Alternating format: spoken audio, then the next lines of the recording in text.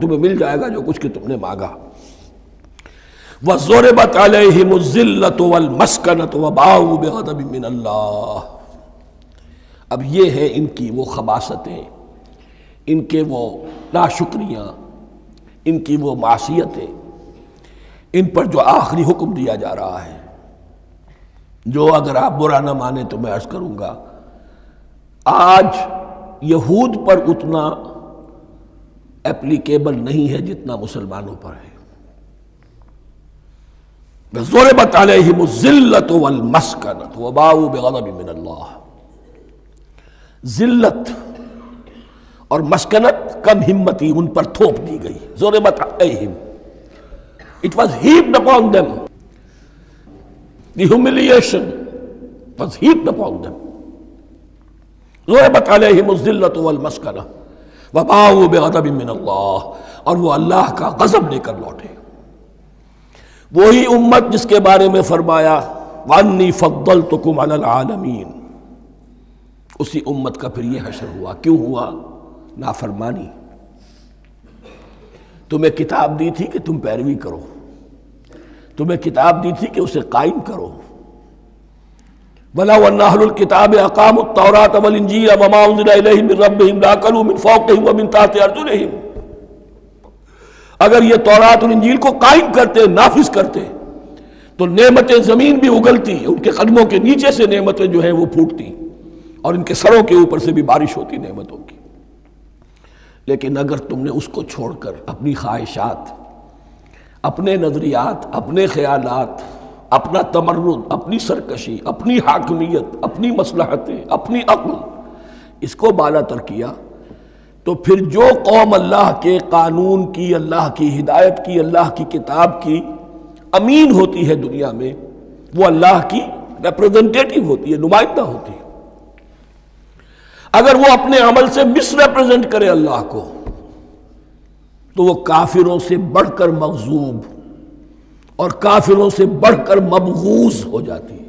مغزوب بھی مبغوز بھی۔ کافروں کو تو دین پہنچانا تمہارے ذمہ تھا۔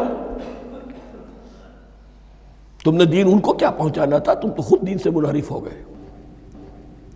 آج اس جگہ پر امت مسلمہ کھڑی ہے کہ سوا بلین یا ڈیڑھ بلین، سوا سو کروڑ عزت نام کی شے نہیں ہے۔ کہ عزت نام تھا جس کا گئی تیمور کے گھر سے۔ سارے معاملات دنیا کے جی سیون جی ففٹین کے ہاتھ میں ہیں۔ سیکیورٹی کونسل اس کے پرمنٹ ممبر کا ویٹو ہے۔ اور نہ سیکیورٹی کونسل میں اور نہ کہیں کسی جی سیون میں، نہ جی نائن میں، نہ جی ففٹین میں کوئی مسلمان ملک نہیں۔ کسنمی پرست کی بھیا کیس تھی۔ ہماری اپنی پالیسیز کہیں اور طے ہوتی ہیں، ہمارے اپنے بجٹ کہیں اور بنتے ہیں۔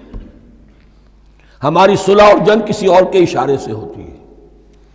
ریموٹ کنٹرول یہ ذلت اور مسکنت۔ آپ کے ریڈیو پر ٹیلی ویژن پر خبریں آتی رہیں کہ اتنے مسلمانوں کے ساتھ یہ کر دیا، اتنی مسلمان عورتوں کی بے حرمتی کر دی۔ لیکن یہاں ہم بیٹھے ہوئے اپنے اپنے دھندوں میں، اپنے اپنے کاروبار میں، اپنی اپنی ملازمتوں میں، اپنے اپنے کیریئرز میں۔ دنیا میں کیا کچھ ہو رہا ہے۔ بہرحال اس وقت یہ جو ہے، میں نے جیسا کہ عرض کیا تھا کہ یہ ہے تاریخ بنی اسرائیل کی۔ لیکن خوشترا باشد کے سر دل براں گفت آیت در حدیث دیگراں۔ یہ ہمارا نقشہ ہے آج اس آیت میں۔ ضربت علیہم الذلت والمسکنت وباؤ بغضب من اللہ اور یہ کیوں؟ ذالک بانہم کانوا یکفرون بآیات اللہ۔ یہ اس لیے کہ وہ اللہ کی آیات کا انکار کرتے رہے۔ وَيَقْتُلُونَ النَّبِيِّينَ بِغَيْرِ الْحَقِّ۔ اللہ کے نبیوں کو ناحق قتل کرتے رہے۔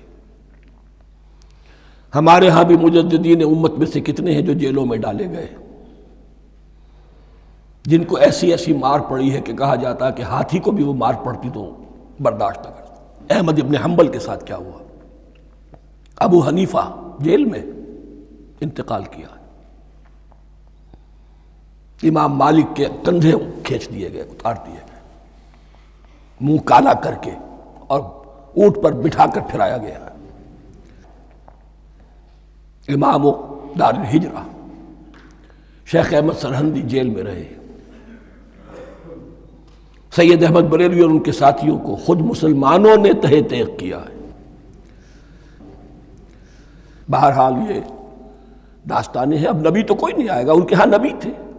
ہمارے ہاں مجددین ہیں، علماء حق ہیں۔ جیسے کہ حدیث بھی ہے، علماء امتی کا انبیاء بنی اسرائیل۔ تو جو انہوں نے انبیاء کے ساتھ کیا، ہم نے مجددین اور علماء کے ساتھ کیا۔ ذالک بما عصوا وکانو یعتدون۔ اور یہ ہوا ان کی نافرمانیوں کی وجہ سے اور حد سے تجاوز کرنے کی وجہ سے۔ اللہ تعالیٰ تو ظالم نہیں اللہ نے تو اونچا مقام دیا تھا۔ ہمیں بھی خیر امت قرار دیا۔ کن تم خیر امت خرجت للناس۔ تامرون بالمعروف وتنہون عن المنکر وتؤمنون باللہ اب اگر ہم نے وہ اپنا مشن چھوڑ دیا تو ذلت اور مسکنت وہ ہمارا مقدر بن گیا۔